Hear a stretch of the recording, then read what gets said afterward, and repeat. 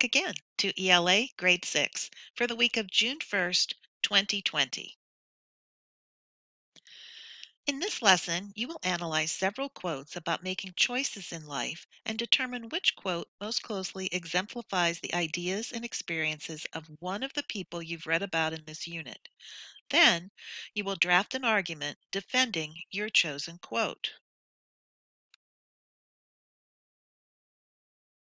You will consider the meaning of each of the following quotes. These are available in your packet. Over the course of this unit, you have gathered information about the experiences and choices that others have made that help them on the pathway to adulthood and achieving success. Now let's consider each of the four quotes provided on the next two slides. Life is a matter of choices, and every choice you make makes you, by John C. Maxwell. The choices we make every minute of every day can contribute to making someone's life a little bit better or worse, even without intending to. By Chikamso Afobe.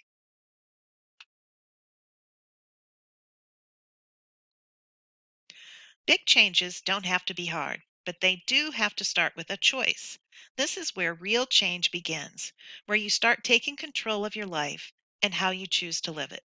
This is where it all starts by Natalie Thompson.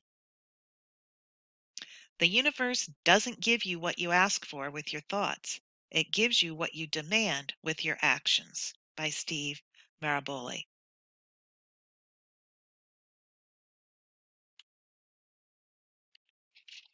Think about the texts that you've read in this unit and the people you've studied.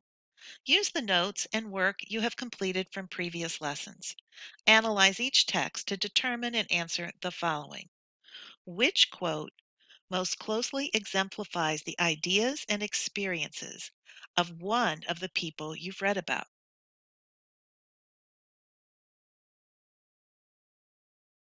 Elements of an argument. Now that you've decided on one individual you've read about and the quote that best exemplifies the ideas and experiences of this person, you are ready to plan an argument. You have learned about argument earlier in this unit. We know that claims, reasons, evidence, and a strong conclusion are pieces of a solid argument. Now we are going to enhance our understanding of argument further by participating in the collection's Level Up tutorial, Elements of an Argument.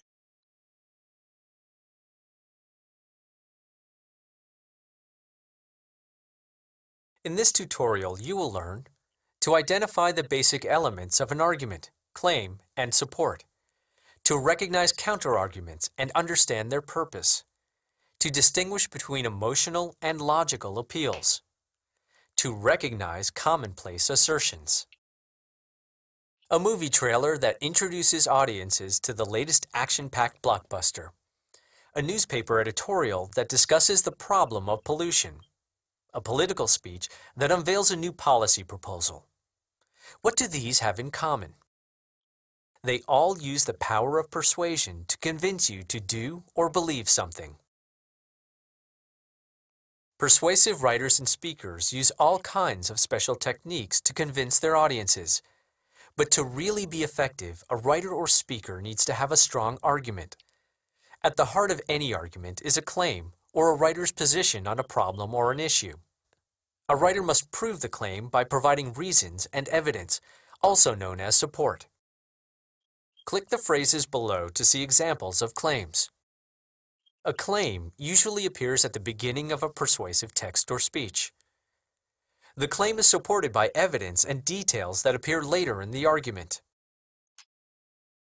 Clean Up laundry detergent is the best detergent on the market, so that would be a claim in an advertisement. In a political speech, I'm the candidate who is most prepared to tackle the difficult issues that our company community faces. And an editorial, a policy that bans cell phones from school grounds will cause more problems than it will solve. And a claim in a lecture, volunteering will benefit you as much as the people you are helping. When analyzing any persuasive text, examine it closely to identify the claim. Ask yourself, what does the writer want me to believe or do after reading this passage? Which sentence states the writer's claim?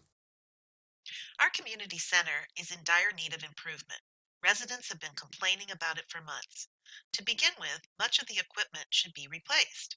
The children's sport gear is falling apart and the exercise equipment is outdated. Also, the swimming pool needs to be repainted.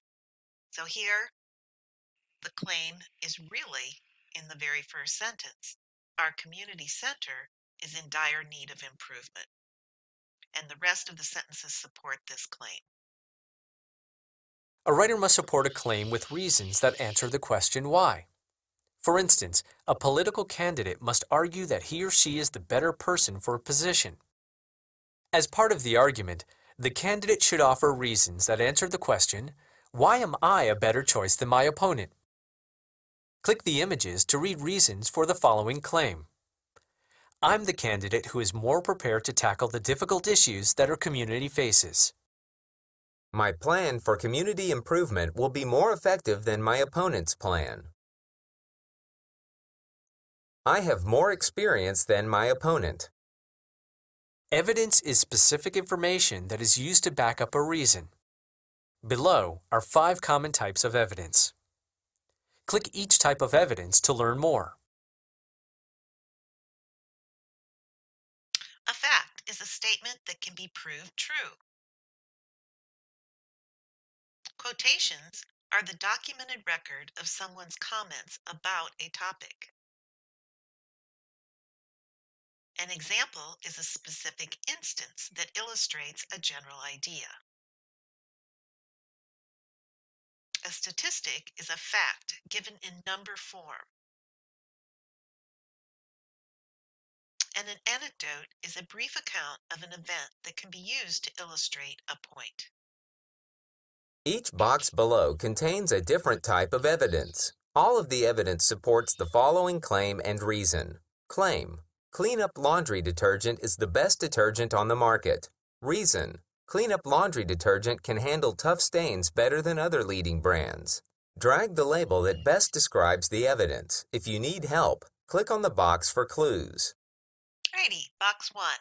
A credible national survey found that 75% of households believe that cleanup can handle tough stains better than the other leading brands. And because that number is in there, 75% on a survey, I'm going to say that that's a statistic. Second, are you tired of tough stains that refuse to go away? I've read Seven Rowdy Boys, and cleanup is the only detergent that I trusted to take out those tough stains, Ava Robbins says. Well, and that's a quotation directly from Ava Robbins. And the third, Tia Hale was strolling outside in her white linen dress. A car roared by, spraying mud all over her. Cleanup got the stains out. Since this incident, she will only use cleanup.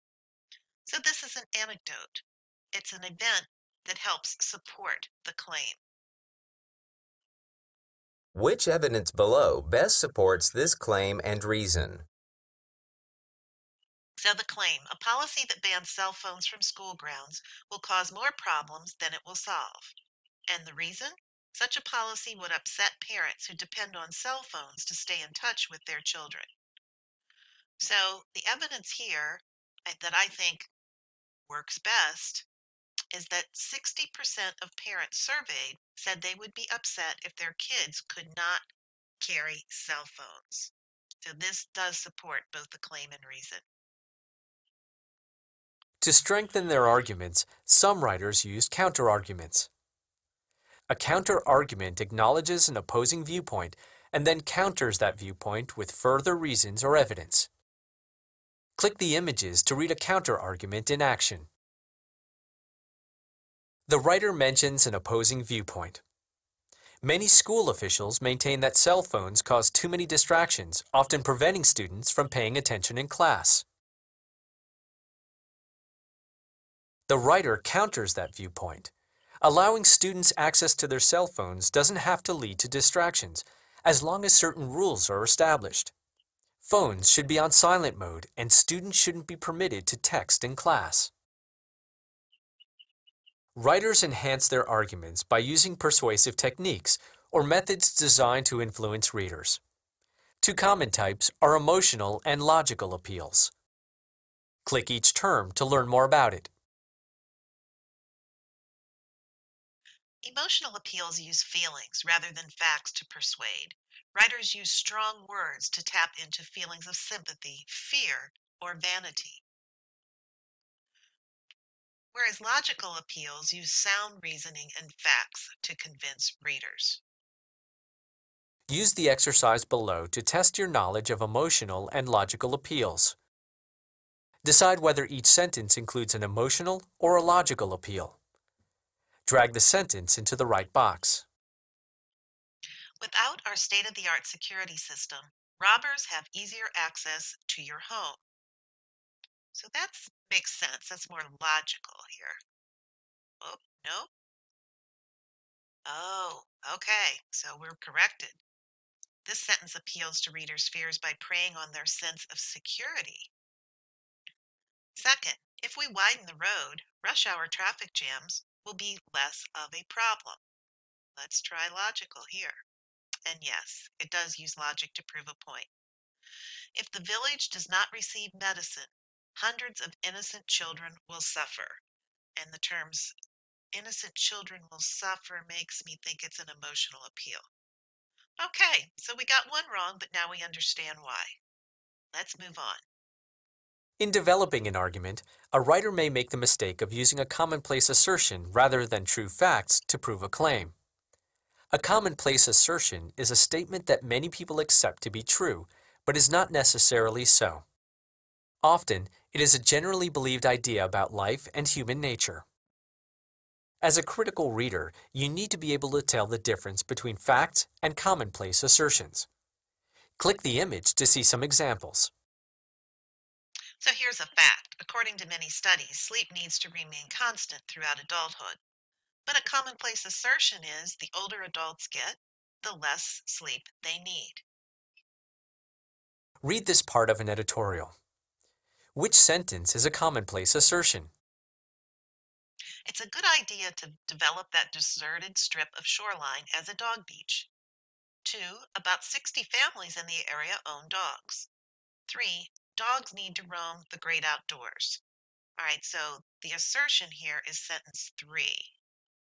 We often think that dogs do need to roam the great outdoors. It's a generalization. Read this claim. The Sandiana Resort offers a memorable vacation. Which supporting statement is a commonplace assertion? Drag it into the box. The resort offers scuba diving lessons and fishing expeditions. Now and then, it's important to get away from it all. The Sandiana Resort has a massive pool with hundreds of lounge chairs. The island is home to several resorts. So these three are really giving us facts. This is more of a commonplace assertion that it's important to get away from it all. An argument is made up of a claim and support. A claim is a writer's position on an issue or a problem. In a solid argument, reasons and evidence help to prove the claim. To strengthen an argument, a writer may include a counterargument, which acknowledges and then counters an opposing viewpoint. A writer may also use persuasive techniques, such as emotional or logical appeals. A writer may fall into the trap of using commonplace assertions as support for an argument. A commonplace assertion is a statement that many people assume is true, but is not necessarily so. Wow, that was a lot about argument. We now really have a good understanding of the elements of an argument. Now go to the Show What You Know section of your packet. You are now ready to plan your argument. You completed this organizer for a different argument in an earlier lesson in this unit. After completing the Drafting My Argument Organizer, you will be prepared to write your argument essay defending your choice in the next lesson. And that's all for today. Thank you for joining me as usual. And next up, we will be reading an informational argument, article and then decide if the author thinks that it is difficult for teenagers to make a decision. So have a great rest of your week. Stay well, and I will see you next time. Bye bye. Hello, and welcome back to ELA Grade 6 GT for the week of June 1st, 2020. In this lesson, we will analyze a Shakespearean monologue in order to interpret the monologue and provide stage directions for how it should be performed. Remember that a monologue is a long speech by one actor in a play or a movie. Here is an image from a scene in Taming of the Shrew, a Shakespearean comedy. We will analyze the final monologue of Kate, one of the main characters. The play is about a young lord, Petruchio, who marries a spirited woman named Kate because her father offers him money and property. Petruchio tames his wife by depriving her of food, sleep, and clothes until they come to an understanding. In some interpretations of the play, Katharina is tamed and follows her husband's orders. In other interpretations, Petruchio comes to realize that Kate is his equal and they both come to realize that they can work together to have an equal relationship. In other interpretation, Kate makes fun of Petruchio and is sarcastic when she pretends to be tamed. In still other interpretation, Kate goes crazy at the end of the play.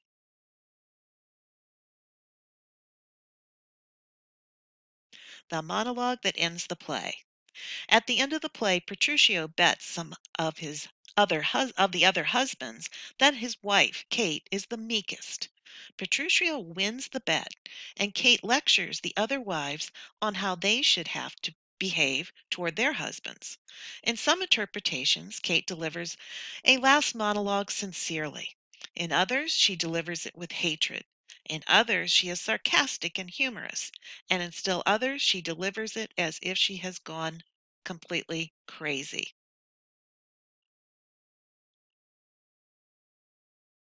When different actors take on certain roles in Shakespeare, they frequently jot down notes to help them perform. Because Shakespeare's plays include so few directions, actors and directors often have to create their own. Here's an example. If we interpret the play to mean that Petruchio and Katharina become equals, the stage directions for Petruchio might look like this. They are in parentheses on the slide. Petruchio, taking Kate's hand and kissing it gently. Catherine, I charge thee, and he winks, tell these headstrong women what duty, and he coughs, they do owe their lords and husbands.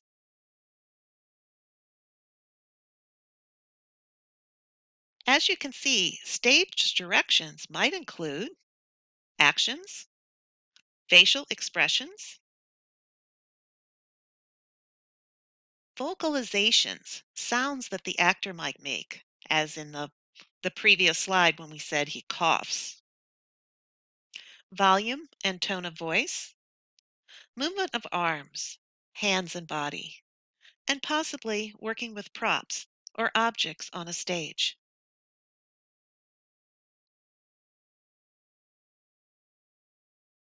When we interpret what is happening in a play, we rely on connotation and denotation. Connotation is an idea or feeling that a word invokes in addition to its literal or primary meaning. Denotation refers to the literal meaning of the word or its dictionary definition. Let's review a collections level up tutorial to gain an enhanced understanding of these terms.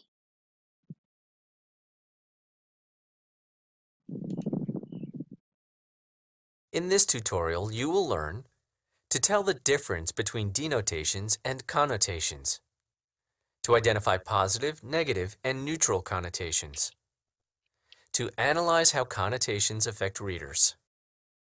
All words have meaning, and you can find the meaning of a word in a dictionary. The dictionary definition of a word is its denotation. For example, you might say that this teen is daydreaming. He's imagining what he'll do after school. Many words also have connotations, or meanings that go beyond the dictionary definitions. Connotations communicate the ideas or feelings associated with a particular word. Writers often use connotations to convey positive, negative, or neutral feelings. For example, the teen is now asleep. You could say he took a break or he slacked off. Took a break sounds more positive than slacked off. Drag the definition or denotation that best fits each set of sentences. We're going to do the first two here. And remember, we're looking for the denotation or the more or less the dictionary definition. So Max tried to blank the parallel bar, but his grip loosened. Children blank to their parents when they are afraid.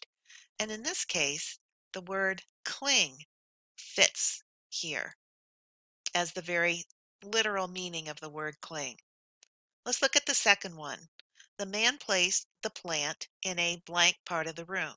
The student sat on the tree covered blank lawn to study. Here, the word shady fits best because this is fits well into these two sentences as a very literal meaning of the word shady. So let's move on. Writers choose their words carefully when they want readers to feel a certain way. That's why it helps to think about exactly how connotations are affecting you.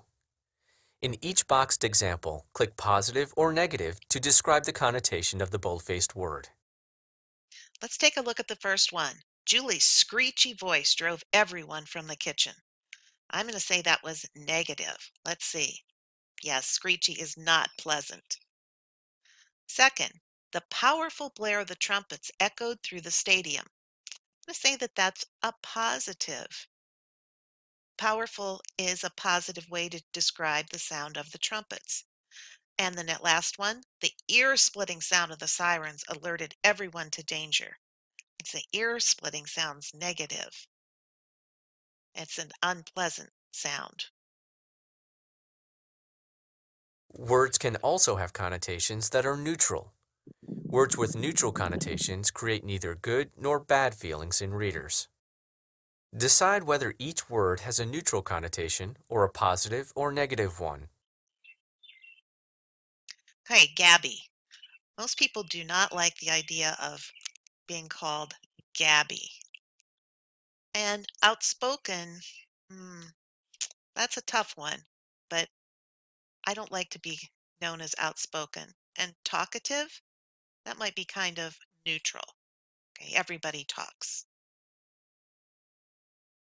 Connotation is also used to convey shades of meaning. The words slender and scrawny both have the same denotation, having little fat. However, these words have different connotations.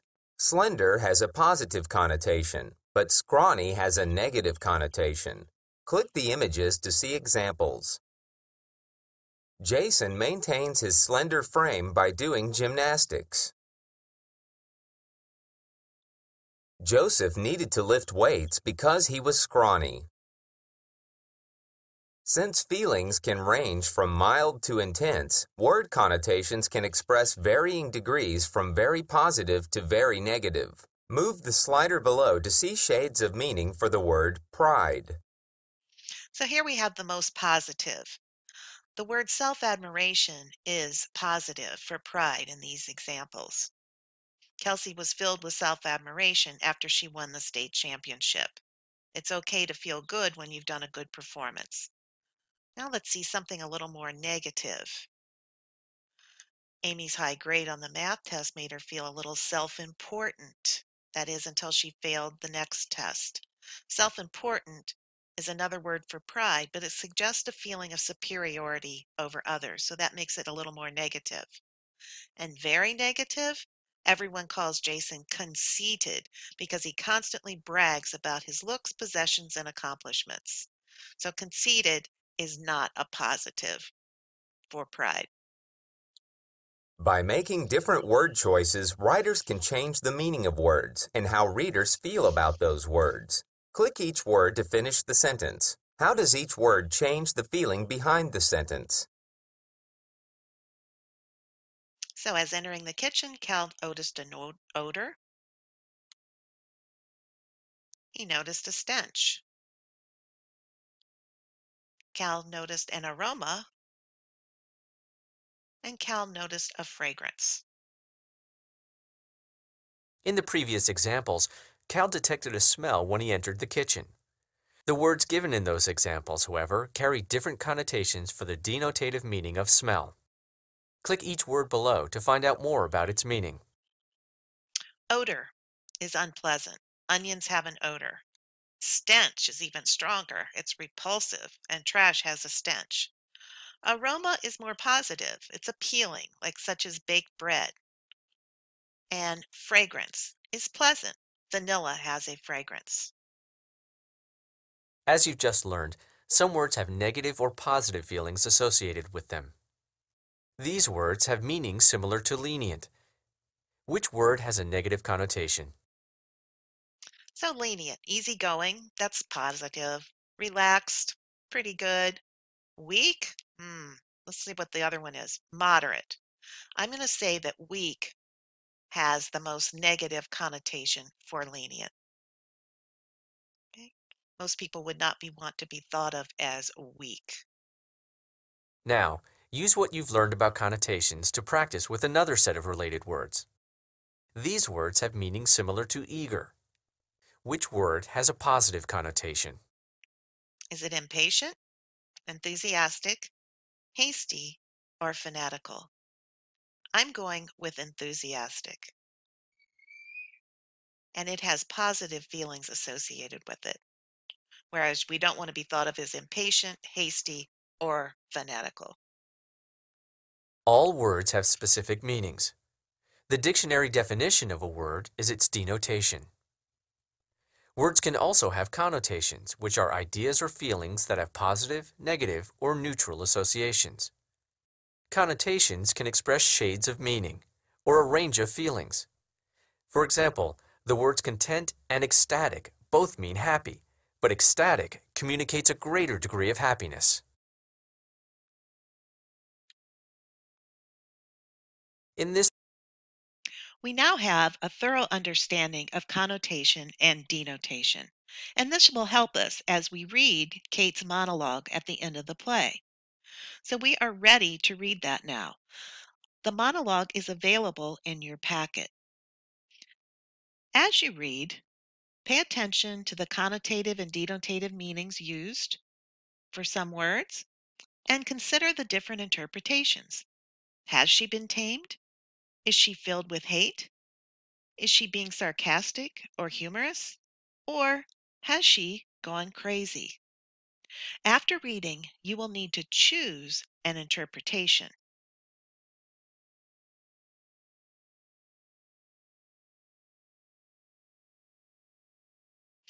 All right, now we're going to be adding some stage directions. So this is really the fun part.